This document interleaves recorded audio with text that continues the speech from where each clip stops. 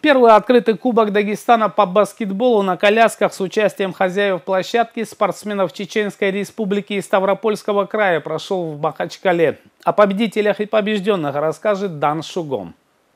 Побороться с командой Дагестана за почетный трофей приехали гости из Чеченской республики и Ставропольского края. Состав дружины нашего региона усилился чемпионом Европы 2018 года и 17-кратным чемпионом страны Евгением Посланиченко. Он выделяется своей игрой и забрасывает мячи в кольцо соперников с завидным постоянством.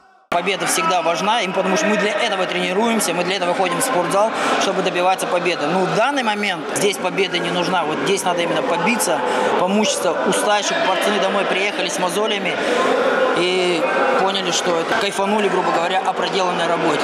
За первым открытым Кубком Дагестана наблюдал и старший тренер сборной России по баскетболу на колясках Дмитрий Оленевский. В нашу республику он приехал по приглашению капитана команды Даки Махачкала Ахмеда Гамзатова. Перед соревнованиями успел он побывать на недельном сборе нашей дружины. Что такое баскетбол на колясках? Это труд, труд, еще раз труд.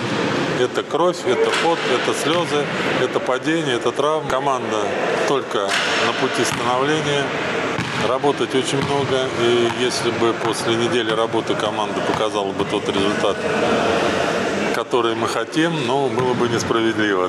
Я хотел бы поблагодарить этих ребят, которые к нам приехали, гости, и вообще наших ребят, которые организовали это мероприятие. Э, для нас это герой вообще. Я, я всегда их считал героями. Почему? Потому что когда люди с такой невозможностью, там люди, которые есть такие возможности заниматься спортом, не занимаются, а эти ребята показывают хороший, большой пример.